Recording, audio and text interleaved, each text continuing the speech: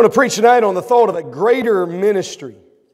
A greater ministry. I, I thought in preparation this past week as I was thinking about preaching on this very thought, I, I thought that such a title would probably really grab the attention, probably more so than the crowd here tonight. It probably grabbed the attention more so of a more ecumenical crowd, a crowd that's built uh, or desirous of just building some larger ministry.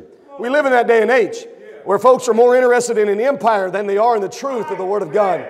They're more interested in uh, popping their galluses at the next fellowship meeting than they are in, uh, in the quality of the work that God is doing. And so there's a huge deviation from the Word of God. And that's not just taking place in Roman Catholicism. We expect them to believe what they do because they're outside of the common grace of God. But uh, even in the ranks of what we would call evangelicalism, in, uh, in the mainstream denominations to make it more personal, even in the fundamentalist crowd uh, tonight, there is a, a great departing from the faith in an attempt to just draw a crowd. It's denoted under the, under the, the, the terminology of pragmatism.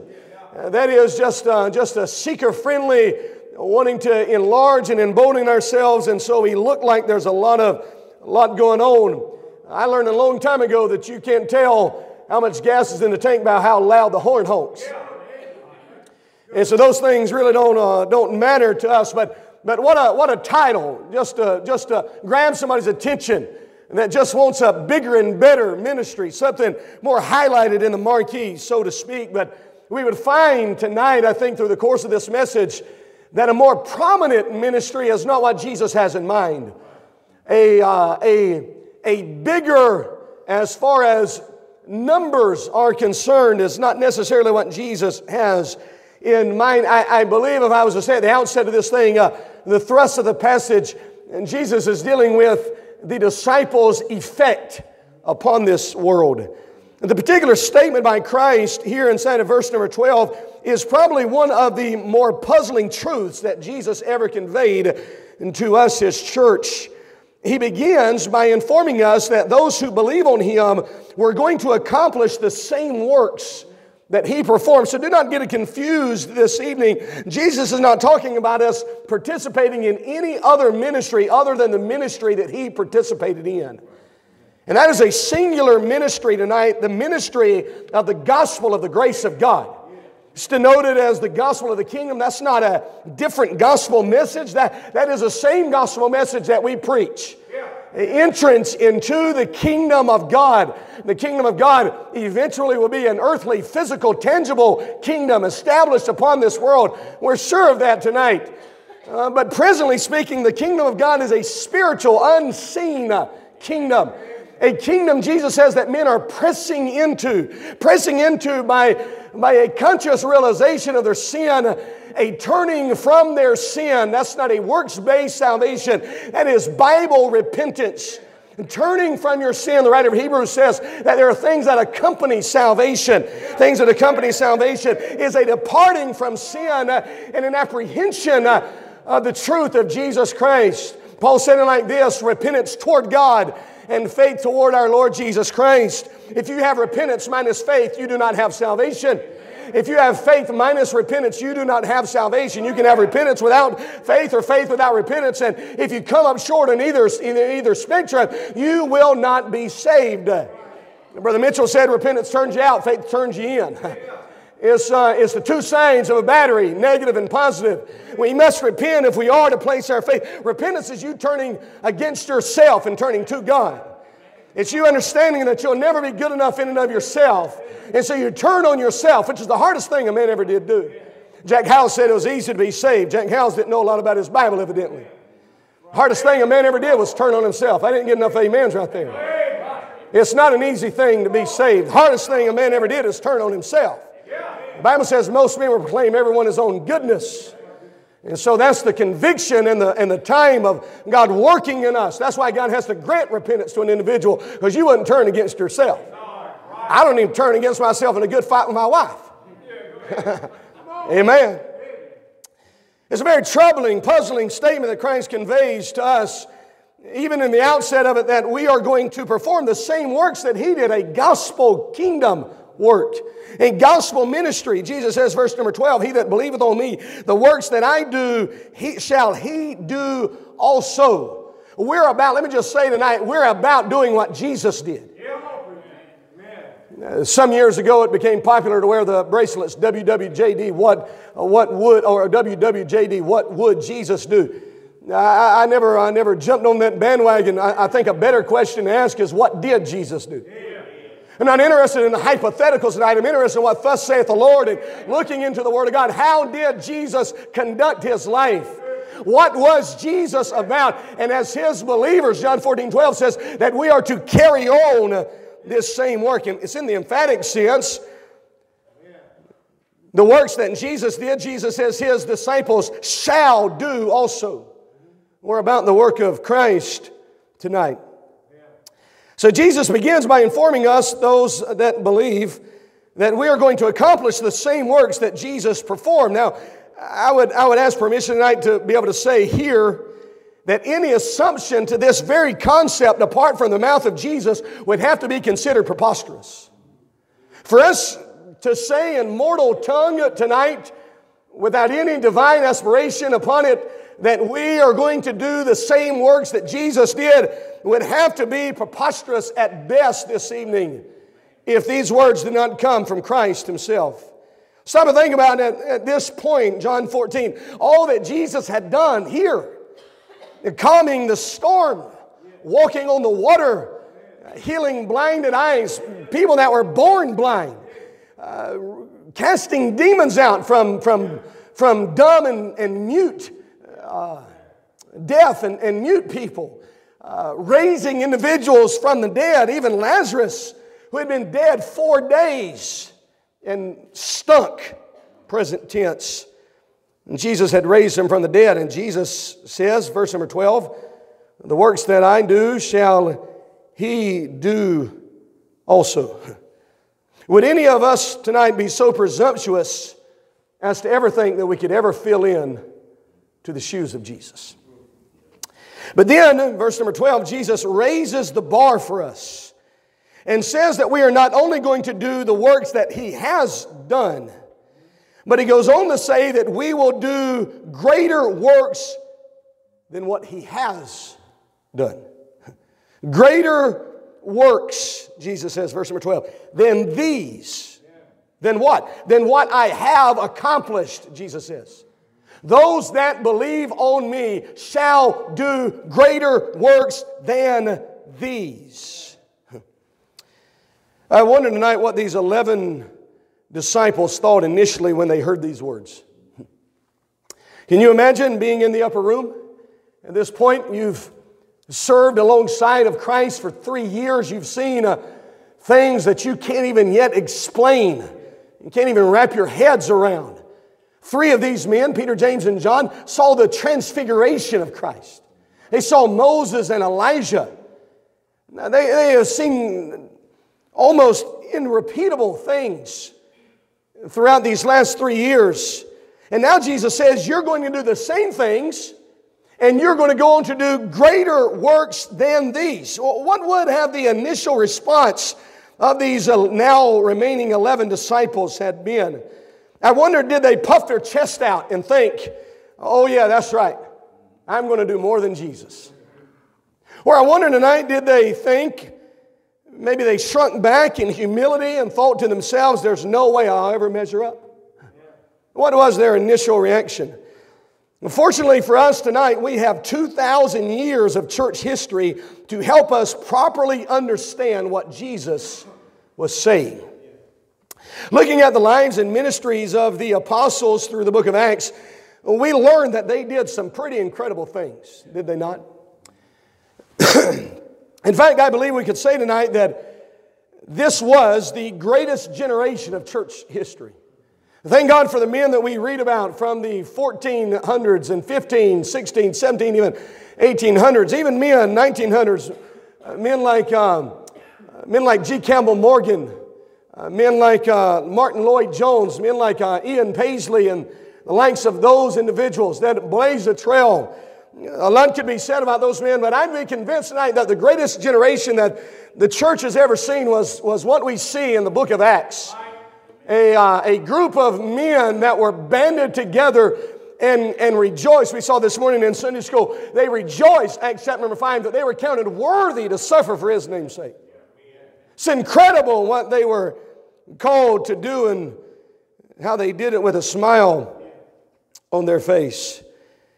But I would also say tonight that we could not honestly say that the apostles did greater works than Jesus in regard to his power. The disciples, the immediate disciples, were not more powerful than Jesus. It is also highly doubtful that they performed more miracles than Jesus did. I would contest tonight, even probably the combined efforts of those early church disciples probably did not, as far as quantity was concerned, accomplish, perform more miracles than what Christ performed. So they were not more powerful, they were not more miraculous, if you will. So, what exactly did Jesus mean by the expression greater works? Greater works. The word translated greater is meizon. Meizon, M E I Z O N. The word simply means larger. It's not a real complex word. And Jesus says that those that believe on him, the works that, that he did, and that shall he do also, and larger works, greater works.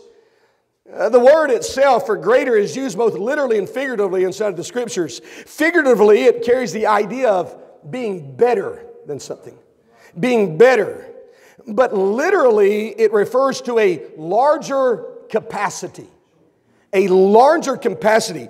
Here are some examples in the scriptures of it being used literally. Romans chapter 9 and verse number 12, in regards to Jacob and Esau, the Bible says, The elder, Meizon, the greater, the larger, the elder shall serve the younger, larger in capacity of years. The elder, Esau, is going to serve the younger, Jacob. It's also used, James chapter 4, verse number 6, but he giveth more, greater, larger, Meizon. he giveth more grace, more in the sense of capacity. There's a, an abundant supply. Aren't you glad about that tonight? There's an abundant supply of grace.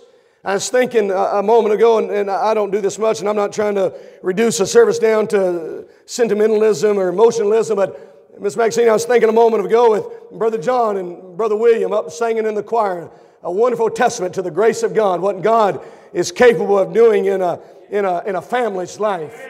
It's wonderful to see that God gives more grace. When you got saved, that wasn't, that wasn't you didn't empty the reserve of God's grace. There's abundant grace. There's, a, there's sufficient grace.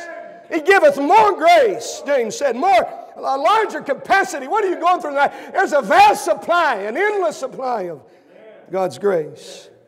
Interpreting the word literally probably fits better with the overall theme of the context of John chapter 14. And since the apostles did not do more powerful works, or if I say it this way, the disciples did not do better works than Jesus. They did not do better works than Jesus. It makes sense then that Jesus was referring then to the extent of their ministries and not the wow effect of their ministries. He wasn't, uh, he wasn't talking about uh, a light show, some spectacular. He wasn't, he wasn't talking about uh, what goes on at the hydrant or the bridge. He wasn't talking about a fanfare show.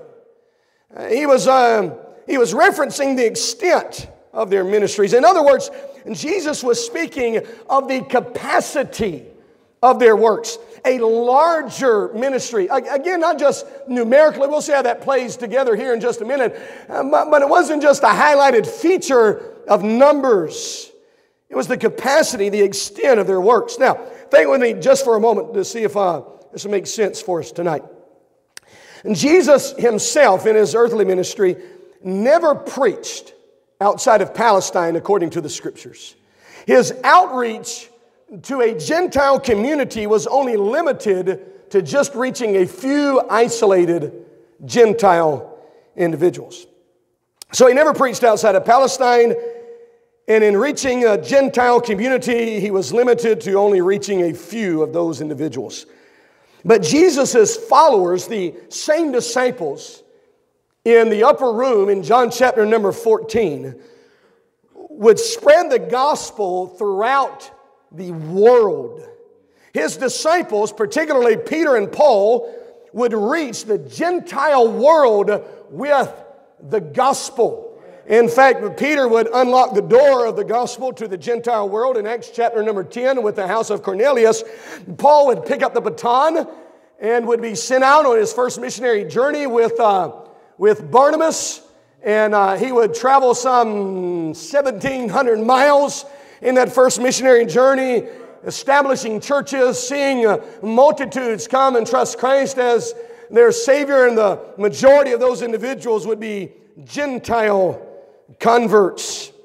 The number of believers in Christ would grow from the hundreds to the time we reach the book of Revelation at the conclusion of the church age to an innumerable host represented in heaven.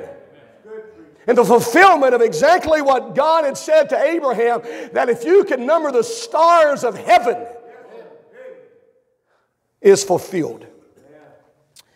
The question that I would like for us to address tonight in regards to such a greater ministry, greater in terms of the extent, the reach of ministry, would be this. What would be the contributing factor to make these greater works a reality for these disciples? One is it that would be the causative effect in their life that would have these disciples accomplish greater works than Jesus. Listen to what he says in verse 14, uh, verse 12. Verily, verily, I say unto you, he that believeth on me, the works that I do shall he do also. And greater works than these shall he do, because I go unto my Father.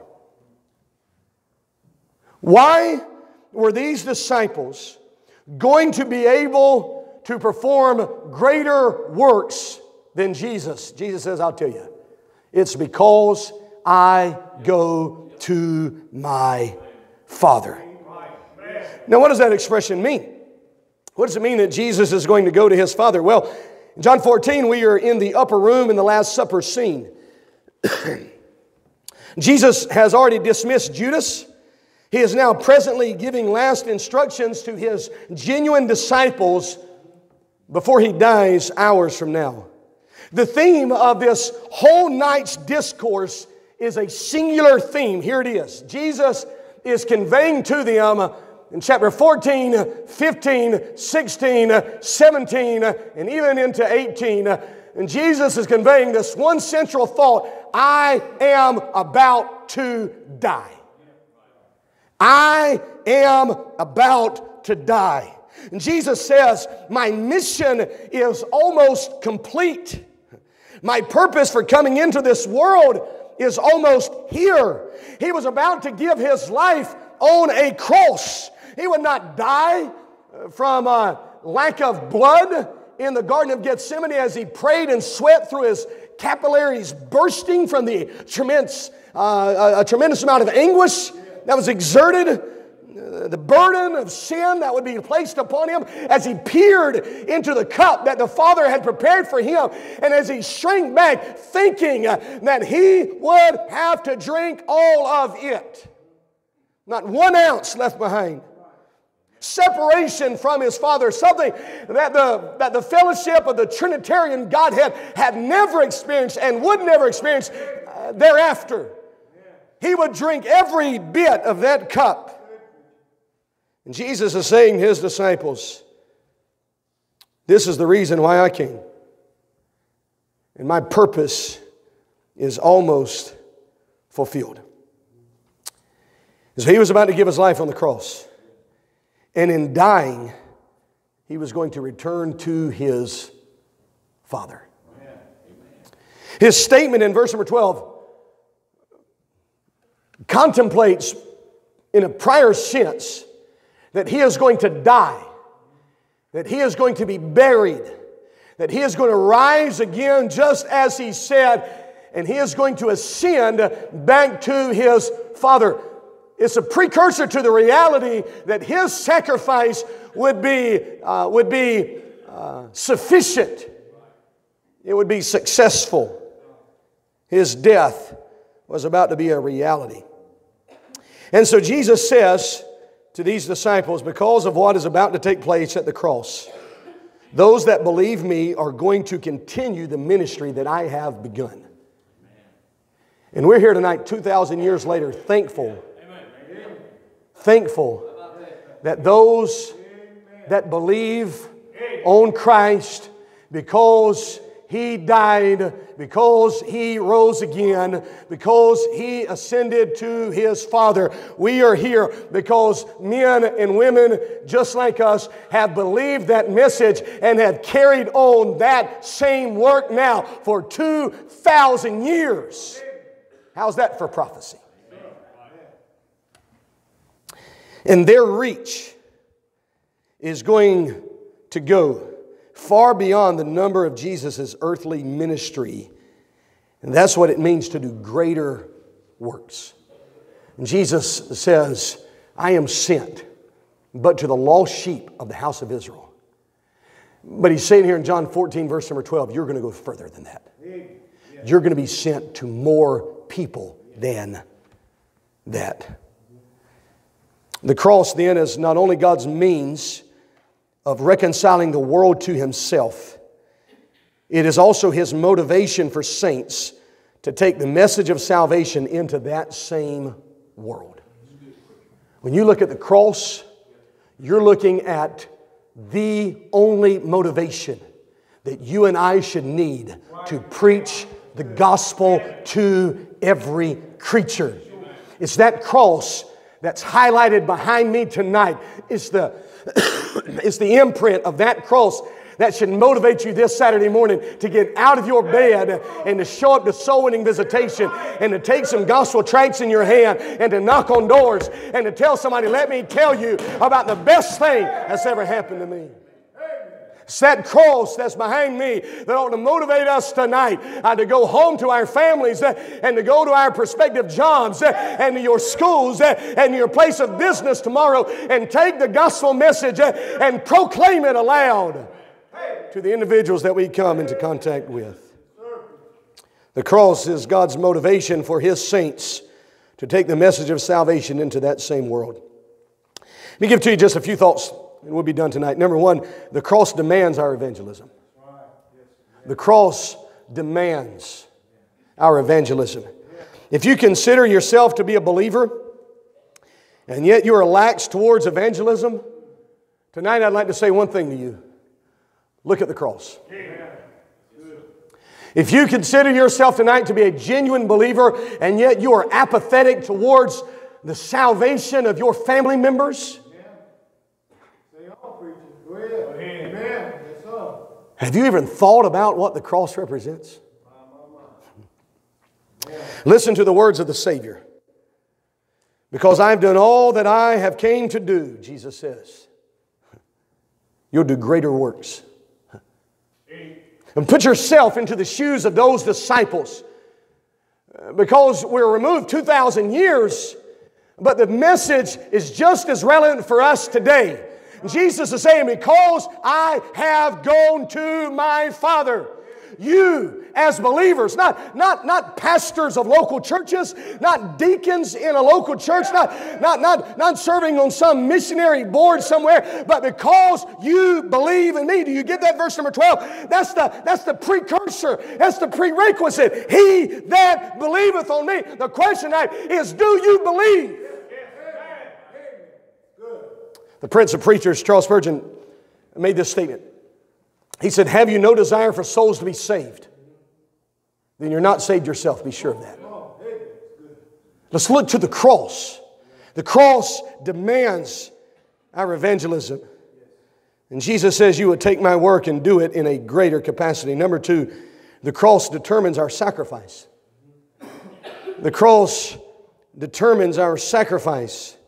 For those of us who would be tempted to say, I'm too tired, I'm too busy, I've got too much going on, again, I would say to us tonight, look to the cross. Tell your bleeding Savior, as it were, as He hangs between earth and heaven, that you do not have time and you will not be bothered by taking His message to a lost and dying world that He died for. Amen. Amen. We're so concerned with ourself and our, our own image. Everything. Th- think about how much time we spend catering to ourselves. And somebody said, uh, Our danger is becoming too heavily minded that we're no earthly good. That's not the danger of the church in 2020. We're so earthly minded, we care for ourselves. We, we, care, we care more about our own pleasures. Our, our self indulgence is eating us up alive, and, and, and we could care less. Some of us tonight ought to hit the altar and stay there until God gives a tear in our eyes. We speak to our family members, we know they're lost, and yet the name Jesus Christ never comes out of our mouth. We go to work and we work alongside of individuals that have never heard a true presentation of the gospel. And yet we talk about everything else under the sun save the gospel. Number three tonight, the cross defines our compassion. The cross defines our compassion. Listen to the words of Paul. Paul said in Galatians 2:20 that Christ loved me and gave himself for me. Um, somebody asked, I guess, kind of a larger question. Uh, I guess you would consider it a theological question. Why did Jesus die for us? Uh, similar question is why does God love us? Uh, let me um, let me try to clear that up for us tonight. It's not because we're so good. It's not because God saw something in you that was just so compelling Him. Uh, we dealt with it this morning, didn't we? Ephesians chapter 1. According to the good pleasure of His own will. He chose to love us. He chose to love us. Uh, you chose to love your wife. You chose to love. Oh, we're, we're so drunk. I don't want to get sidetracked here, but we're so drunk on, on, on Hollywood's version of love. It's just based on emotionalism. Uh, you can fall in love with anybody if you've got an orchestra following you around. in Photoshop, right? That's, uh, that's not love. That's, that's, that's love. Uh, in, in Greek, that would be eros, sensual, very base, very shallow. It's not lasting, it's not effectual. Um, I didn't want to marry somebody ugly. I get that? So I chose to love somebody pretty. Right? She got her a hunk too. My son's in the sound booth. Paul said, Christ loved me. Therefore, he gave himself for me. Paul understood that Christ died for him because Christ loved him. This was the motivation. He says Christ performed the ministry. You get that? He performed the ministry. He died for me. This commandment, Jesus said, have I received of my Father.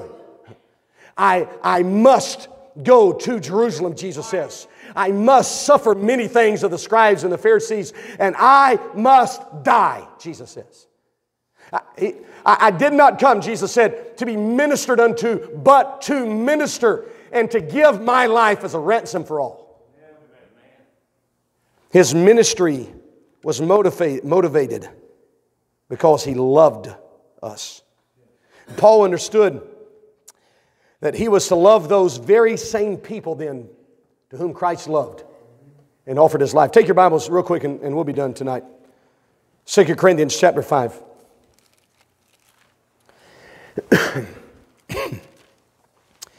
Second Corinthians chapter 5. Watch the words of Paul here Remember, the cross defines our compassion. 2 Corinthians 5, verse 14 and 15. For the love of Christ constraineth us, because we thus judge that if one, Christ, died for all the world, then we're all dead. You see the line of reasoning here? One, Christ, died for all, right? You'd have to go to a commentary to get another meaning of that word in, in this context, right? He died for all, and therefore, he says, all were what? Dead. We're all in the same boat. So stop trying to figure out who's elect and who's not. Right? Stop trying to figure out the ones that are easy to witness to and that you think might respond. You'd be surprised at the ones that would if you'd give them the gospel. Right? So he says, The love of Christ constraineth us, it compels us. It's our motivation. Paul says, Paul says it's the fact that Christ loved us. Who do you love? Well, Paul says, I'm just figuring here since he died for everyone, because everyone was dead, I'm guessing he loves all of us, right? Verse 15, and that he died for all, that they which live should not henceforth do what? Live unto themselves, but unto him which died for them and rose again. There, there comes, verse number 15, those of us that have come already to that realization that Christ died for us, and you will not come to that realization apart from the Spirit of God illuminating your mind.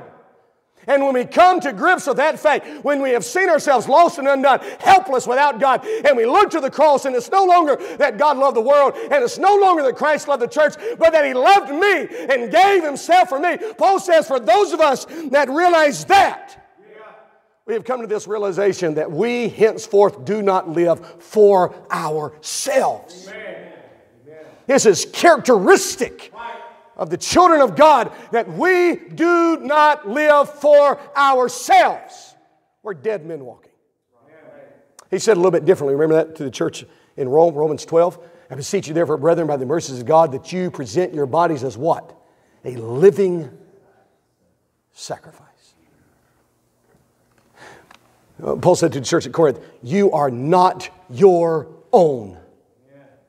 What's the, what's the precursor to that? You have been bought with a price. Therefore, because of this truth, Paul says, glorify God in your body and in your spirit, which belong, which are God's. They belong to God.